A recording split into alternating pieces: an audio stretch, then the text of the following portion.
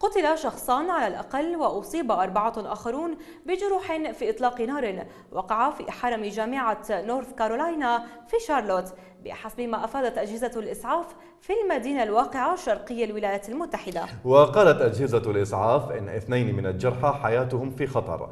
من جهتها أعلنت شرطة شارلوت أنها سيطرت على الوضع واعتقلت مشتبها به مطمئنة إلى أن المكان آمن وأنها بصدد تمشيط مباني الحرم الجامعي. أما مكتب إدارة الطوارئ التابع للجامعة فأعلن من جهته أن الطوق الأمني ما زال مفروضا حول الحرم الجامعي.